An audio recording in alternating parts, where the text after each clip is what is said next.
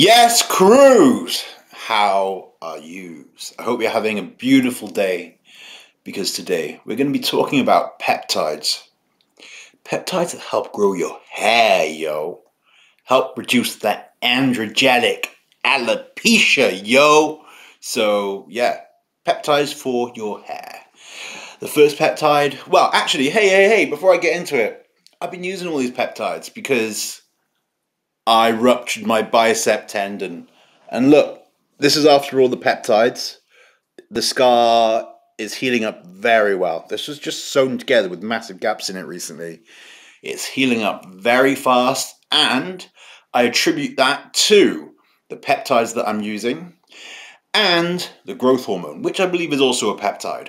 So I'm using these peptides in combination, and these are also helping with my hair game, yo. So, the first peptide we're going to be talking about is epitalon. Epitalon? Yes, epitalon. Epitalon is a bioidentical uh, peptide which is found in the pineal gland. Now, the pineal gland is responsible for circadian rhythm, the production of melatonin, in, in, interpreting signals from light signals into uh, circadian rhythm signals, and um, the production of melatonin and uh, cortisol secretion as well. So, basically, epitalon is said to increase lifespan, um, restore the circadian rhythm, and cortisol uh, like levels in old like rhesus monkeys and other animals and there have also been some human trials with this as well. And um, basically it's an antioxidant peptide that helps improve the immune system. It's anti-carcinogenic and it also helps to elongate the telomeres so, for all y'all that don't know, um, our genetic code, our DNA, is wrapped up in genes, and these are grouped together in chromosomes.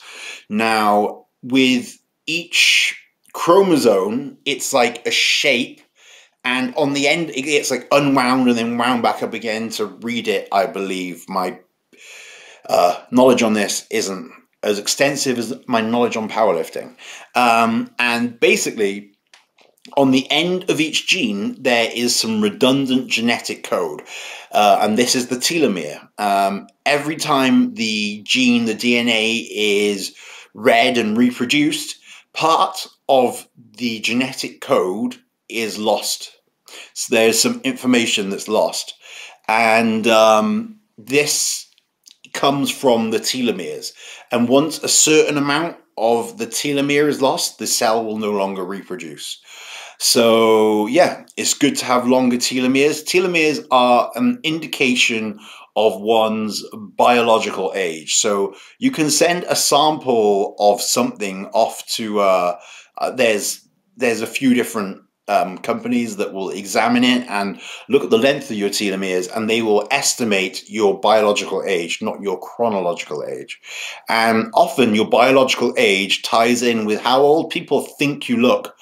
On average, people have got a pretty good eye for looking at how much how much abuse you've given your body, how much stress you've been through, and um, yeah, they've got a pretty good eye for how old you look. is often quite similar to your biological age.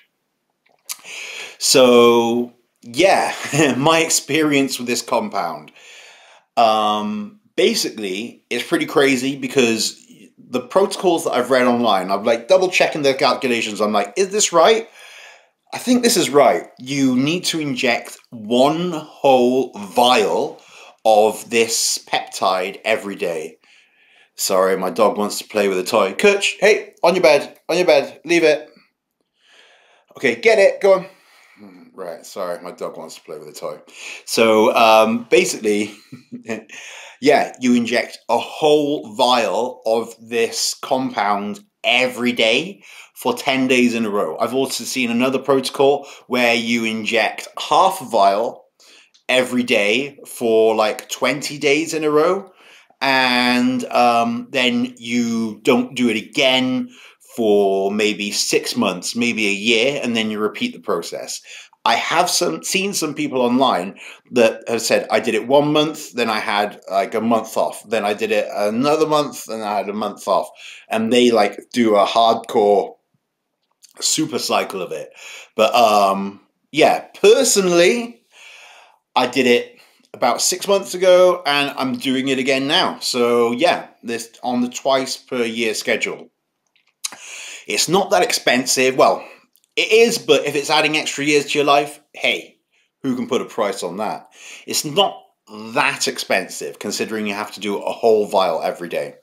And um, yeah, basically, I experienced not many side effects. People say that it helps with their circadian rhythm, it can help improve their sex drive and their libido.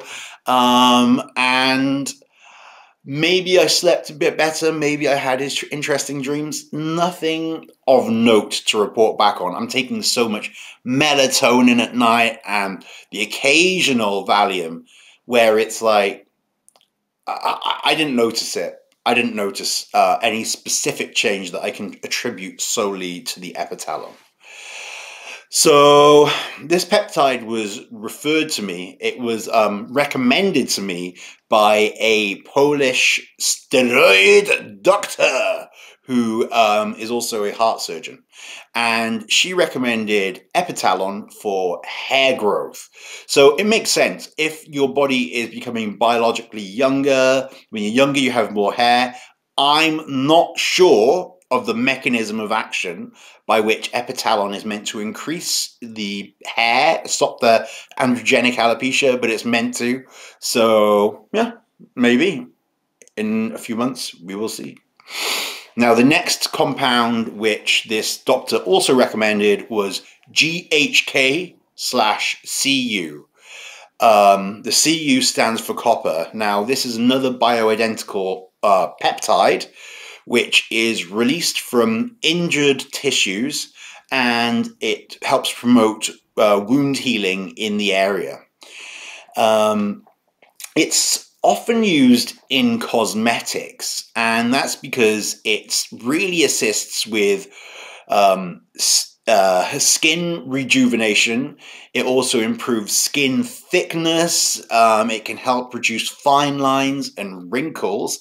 And it also helps reverse some of the effects of sun damage. Now, levels of GHK-Cu are a lot higher in younger individuals and they decline more and more as we advance in age. So restoring them, the levels of this compound to uh, more youthful levels can be of great benefit.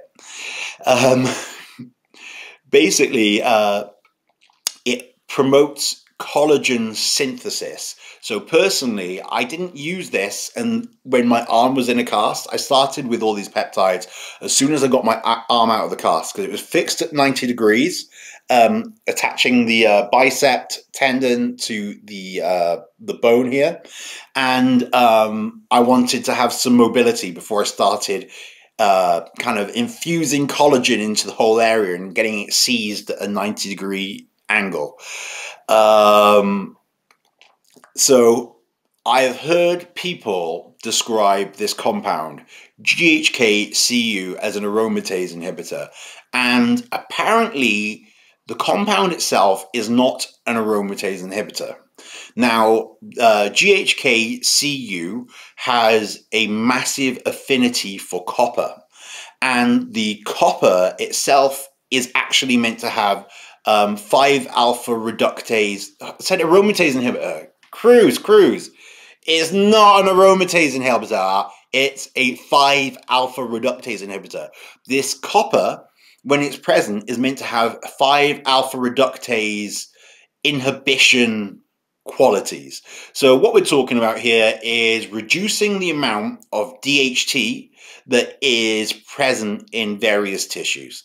And um, this is a logical explanation by which it may help promote hair growth and uh, also we're talking about collagen synthesis and i know that the the effect of collagen synthesis um, it it can promote hair growth. So um, compounds like minoxidil, they are that's an hair growth agonist, and that has effects on collagen. So these this is me theorizing here. I do not know for sure, but it's promoting collagen synth synthesis and the copper acts as a 5 alpha reductase inhibitor to some degree. Now, my experience with this, um, well, it's the first ever uh, peptide that I've injected, which is not just a white boring old beige white powder. No, this is purpley, kind of blue, purple. Yeah, it's bright. It's a bright color. We all want to be injecting something bright into our bodies because it's cool, isn't it? Right. So, um, first of all, that's pretty cool. It takes quite a lot of bacteriostatic water to dissolve it because there was 50 milligrams in this vial. Sometimes you get 5 milligrams of powder, sometimes you get 10 milligrams of powder. This is the first time I've ever had 50 milligrams of peptide, raw peptide in the bottom of the vial. So it took a few mils to dissolve it. And again, with the dosing protocol with this, online I've seen people recommend injecting it for a blast of a few days. Uh, some people are saying very high dosages actually.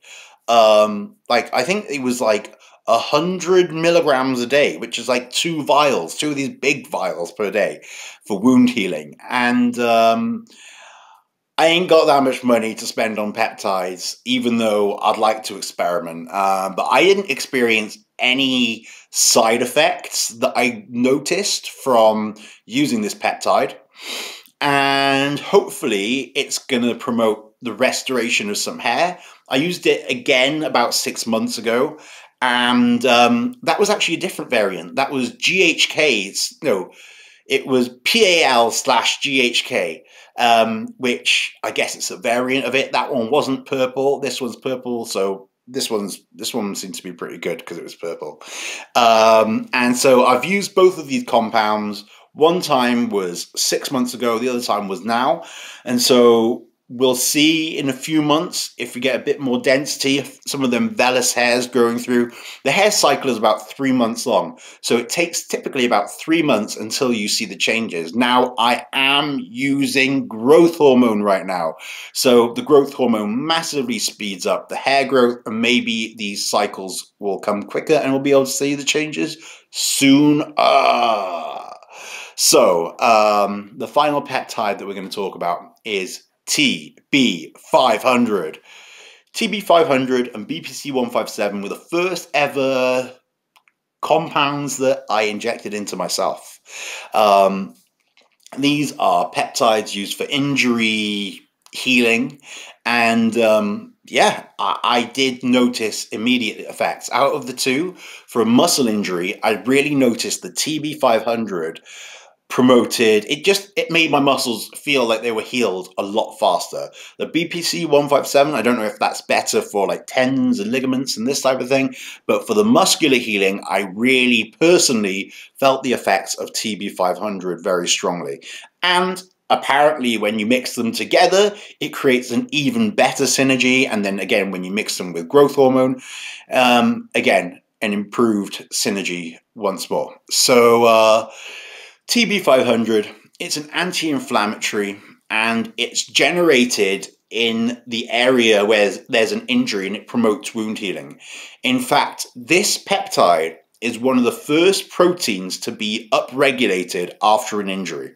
So, yeah, it is one of the body's first lines of defense uh, when there is an insult to the body.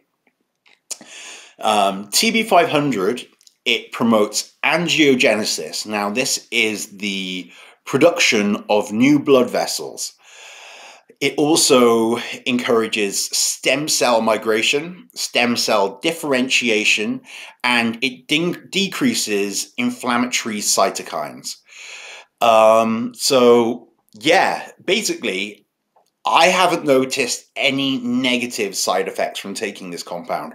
I have noticed a couple of times when I was using it on a different area of my body from a different supplier um, that the area seemed to get kind of like knotted before it got it was like the day afterwards it would be a little bit like raw and then the day after that it would be like oh i'm fixed now.